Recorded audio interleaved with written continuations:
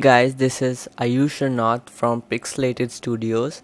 Today I'll be showing you how to make an iPhone app uh, basically in Cocos2D that follows your sprite and your background would move accordingly. It's basically used for RPG kinds of games and mainly where you have to follow your sprite so I'll create a new project and Cocos2D application. I'll name it. Maybe follow.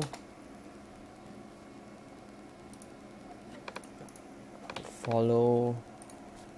Anything would do.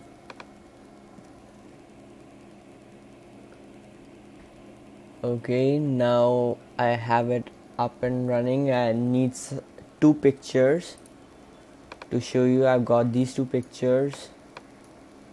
And I'll drag them over to my resources folder. And copy. Okay.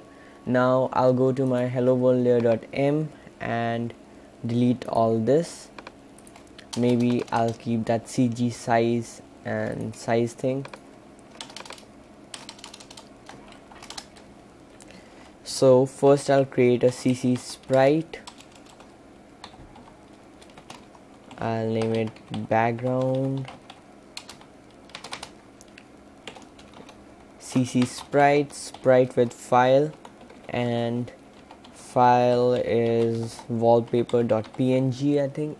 Uh, it's JPG make sure that your extensions are correct otherwise your app would crash as soon as it launches now I'll position it self or uh, maybe after writing CG size I'll position it.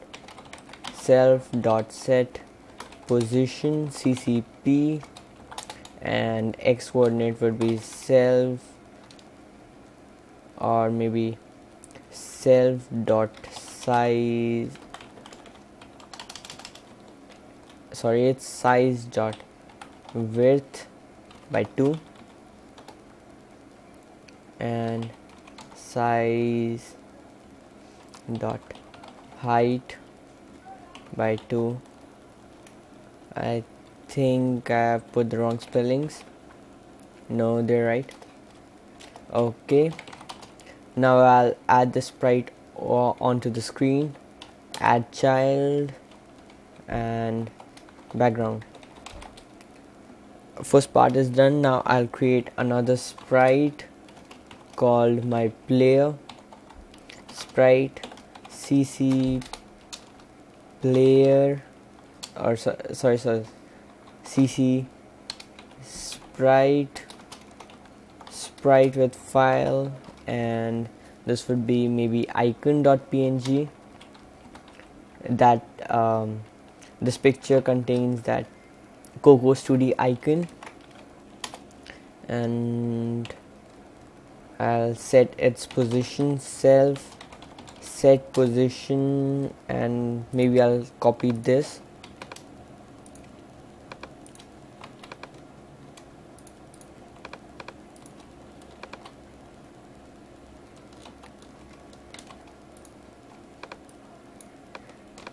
I know I have an error here I need to put background dot set position ccp and then all that. And here I need to put player set position and then all that. Next I'll add self add child player. Now I'll make a cc action name it action equals cc repeat forever. I'll change this to id cc repeat. And repeat forever. Sorry for the spellings and all. Repeat forever. Action with action. Cc sequence actions cc move by or cc move to action with duration. Uh, duration would be like 8 seconds 8.0 f and ccp maybe 800 and 800 800 uh, I'll keep the x axis to be constant or I'll keep the y axis to be constant so that it moves only horizontally. Okay then I'll make this come back to its original position. CCP I'll copy this position I'll copy this position over to here. And then close all the brackets. Now I'll run this action on player. Player run action action. Okay. Now I'll show you how this runs so it's compiling. And when it runs uh, the sprite would be moving with and the wallpaper wouldn't be moving. But we need uh, and at one point of time your sprite will go off the screen which you don't want. That's what I'll show you after I run this program. There's just two more lines of code to make that happen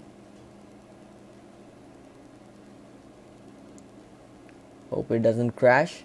Okay so it's moving and now it goes off goes off the screen and you don't know where it is. You don't want this and you want your cc sprite uh, your sprite to remain in the center and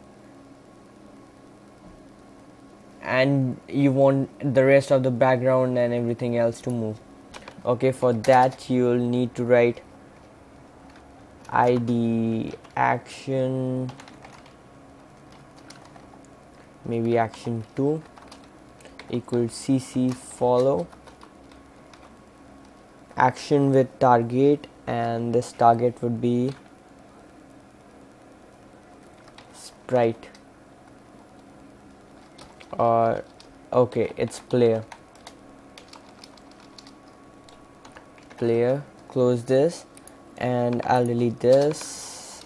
I'll directly run it on self. Self run action and close the brackets here. And that's it. Now I'll run it again. And this time the wallpaper would move and your sprite would remain constant on the screen. So the the sprite is constant over here and your wallpaper or the background moves and the sprite doesn't move. It's great for rpg games as i told you before. And you could use this principle to build your game. And thanks for watching. Please comment rate and subscribe. Bye